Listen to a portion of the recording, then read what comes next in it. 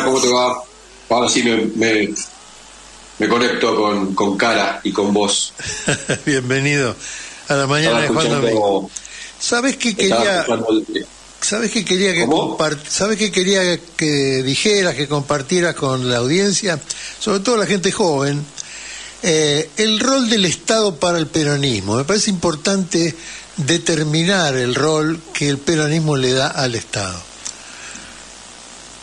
Sí. Sobre todo en el eh, modelo argentino para el proyecto nacional, pero en general, digamos. Es una, no es una pregunta corta, pero porque requiere necesariamente también de la de, la concepción de Perón respecto del, rol de la comunidad, ¿no? Eh, y, un modelo que, plantea al Estado como un actor principal en la planificación, en la definición y el destino de los recursos, en, la aseguración de un modelo distributivo, eh, pero le da un, un, rol muy, muy importante a la comunidad organizada como un modelo político, eh, es decir, no alcanza con, tener presencia en el Estado, o, como se dice ahora, un Estado presente, sino que requiere de un modelo organizativo en donde la, definición del Estado como eh, administración eh, también tiene que ser abordada como conducción. Es decir, no, no existe la posibilidad de desarrollar el rol del Estado con precisión si no hay estas dos cosas, la administración de la cosa pública, la parte administrativa técnica eh, y fundamentalmente la conducción, porque, porque Perón tiene una visión eh, en la que cada hombre, cada mujer y cada organización de la comunidad tiene un rol importante también en el objetivo de ese proyecto nacional. Entonces, la, el rol del Estado también está muy ligado a saber que no es el único actor del modelo político peronista. Eh, es un actor importante, es un actor que define objetivos, es un actor que planifica, eh, fundamentalmente planifica para eh, identificar el mejor aprovechamiento de los recursos que genera la comunidad en cada una de las regiones, en cada uno de los sectores y actores, y que garantiza la integración de esos de esas regiones y de esos sectores eh, políticos, económicos o culturales. Bueno, eso se diferenciaría, de, digamos, del, del, modelo soviético, ¿no?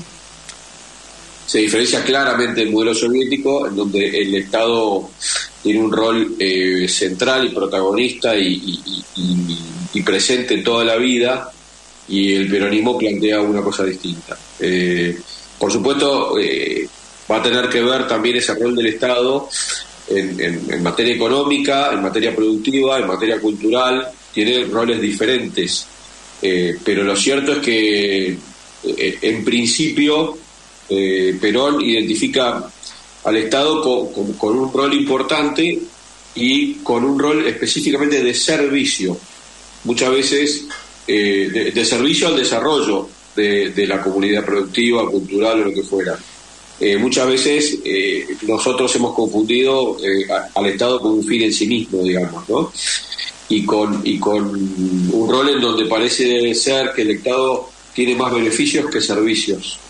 En, en alguna ocasión, haciendo obviamente uso de su de su capacidad comunicacional irónica y calando hondo, dice que Aristóteles sostenía que, esto se lo dije a los funcionarios públicos, que Aristóteles sostenía que era imposible una sociedad sin esclavitud, utiliza esa figura ya de por sí fuerte, y él dice, yo estoy de acuerdo, pero creo que los esclavos tienen que ser los servidores públicos, eh, y, no, y no los esclavos en favor de los servidores públicos.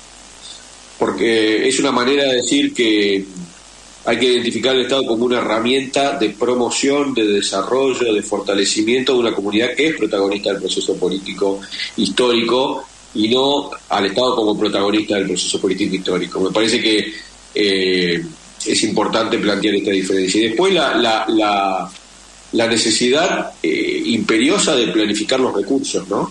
Eh, no, no el modelo argentino que vos siempre reivindicás eh, es un modelo que primariamente lo que define es que eh, nosotros tenemos que asumir un proyecto político de liberación.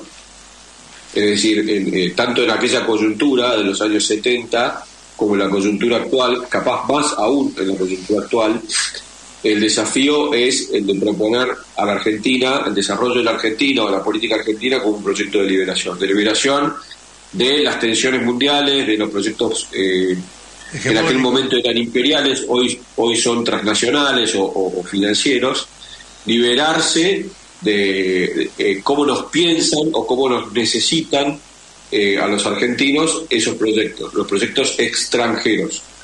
Y en ese, en ese proceso de identificar a nuestro proyecto político como un proyecto de liberación, eh, obviamente la, la, estructura del Estado tiene que estar centralizada en planificar desde lo cultural hasta lo económico y lo productivo y lo social, para que eso eh, retroalimente eh, su, proceso de libertad, digamos, ¿no? En definitiva, el primer defensor de la libertad del pueblo es el modelo peronista, o el, o el mejor defensor de la libertad del pueblo lo digo ahora en esta coyuntura en donde parece que, la libertad es un valor nuevo, ¿no? Claro. Eh, ¿Alguna duda, compañeros? No, eh, mi, diríamos que recién hablábamos de las huelgas de Amazon que son a nivel mundial y concuerda con lo que se está hablando de que eh, para las grandes empresas, para los grandes grupos empresarios, la demolición, la ponerle dinamita al Estado en términos eh, nuestros actuales, este, es una tarea esencial, ¿no? Demoler, eh, desgastar todo lo posible a los estados nacionales. ¿Para qué? Para que la consolidación de las empresas, que las empresas se, se radican en, todo el mundo, digamos, se radican en, en, Indonesia, venden en México, arman en Sudáfrica, eh, tienen todo el mundo como centro de operaciones. Y en ese sentido necesitan debilitar a los estados límites. Eh, sí, eh, es, es una observación muy precisa en, rigor hoy, el, por eso hablé de la diferencia entre la época de los imperios y esta época, ¿no?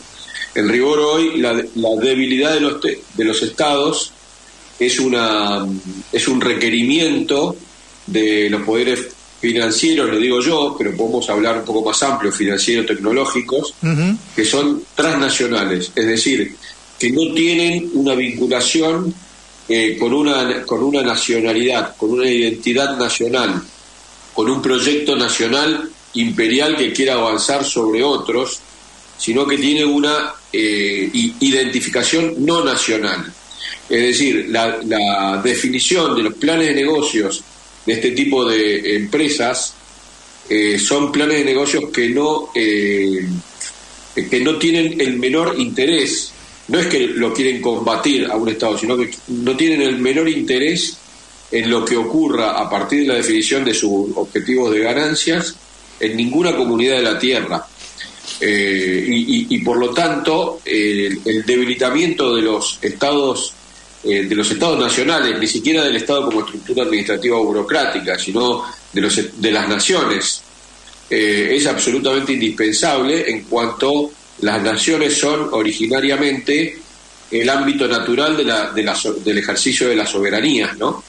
Cuando nosotros hablamos de soberanía, hablamos particularmente de la decisión eh, de los pueblos y de las naciones, y del Estado como un factor de aglutinación de ese poder político que se traduce en la soberanía de las naciones y de los pueblos, y la, por eso eh, profundizo un poco más tu reflexión y diría yo que en realidad el objetivo de esos, esos grupos que desarrollan su, planificación de plan de negocios en función de lo transnacional o de lo no nacional o de lo no comunitario, solamente orientado al dinero, eh, no solo eh, busca desmembrar a los estados como organización política funcional, administrativa y burocrática, eh, sino que también buscan desmembrar todo marco organizativo comunitario. Las naciones, los pueblos, la familia, los ámbitos.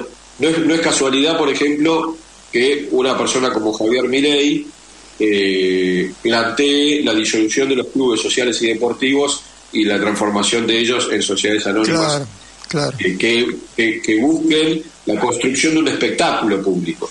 Esto, esto me parece eh, importantísimo. Y en materia eh, científica y tecnológica pasa exactamente lo mismo.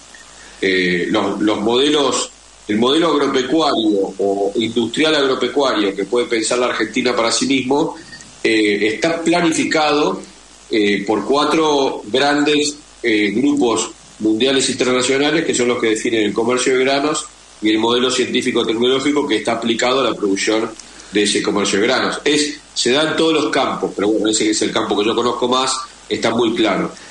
Y Mariano, vuelvo a la, huelga de Amazon, de Amazon. ¿Por qué? Porque me llamó la atención, eh, tiene dos reivindicaciones, básicamente. Una, los salarios de los trabajadores de Amazon. Y otra reivindicación es que se aporte más a cada país en que Amazon está radicada. O sea, los propios trabajadores salen en defensa del Estado en el que viven. ¿Para qué? Para que la empresa aporte, haga su, digamos, su aporte en impuestos, diría yo, eh, a la nación que los contiene, a los trabajadores, ¿no? Eh, es súper interesante porque lo que están identificando ahí los trabajadores es un aliado político. Exactamente. Es decir, ellos, saben que si, que si hay una distancia o una ruptura de la figura de los estados-naciones y de, y de las naciones y de los pueblos, eh, ellos no tienen eh, ningún mecanismo de defensa frente a quien los está explotando.